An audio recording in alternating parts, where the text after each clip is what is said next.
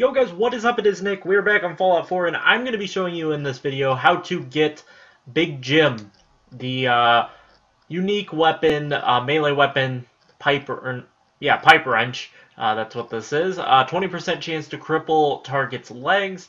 Uh, there it is, 17 damage. Not the greatest weapon, but it is a unique slash legendary. So whatever you want to call it, whatever you want to call the things with the side, the stars, unique, legendary. Um, I've heard it like every way you could possibly say it, um, but this is where you get it. Uh, down here, hold on first. Down here you'll run into Whiplash and uh, Walter here in the first room.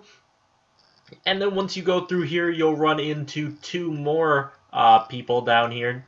Uh, you'll run into uh, Tweez and Bear and uh, there's not really anything special within these rooms. I mean, there's some drugs and some different stuff like that, uh, different materials, but nothing special that I needed to show. Uh, this is a master lock safe. Uh, there was just some just some odds and ends stuff in there, nothing special. But you can either get the key off of Walter here, or you can open the safe with lockpick, which is what I did for the experience. Um, but Big Jim located right here. Uh, let me show you on the map where this is. Uh, it is Walden Pond.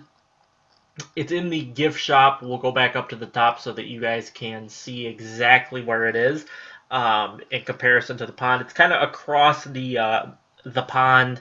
Um, it's kind of sitting up on the hill, and uh, the big, I guess, indicator that I can give you is that the uh, Bojangles, the monkey, there's one sitting that you can't pick up in this store, and it's got this back room and you'll want to head down there to get yourself a Big Jim. But here you go. Uh, there is the monkey. Uh, but here you go. It's across the uh, pond, kind of. It's kind of off to the side of the pond. Uh, but you get my point. It's this building here. You'll have this little building over there. But it's in here through the door in the back. So I hope you guys enjoyed uh, the video, and I will catch you guys in the next one. Peace out.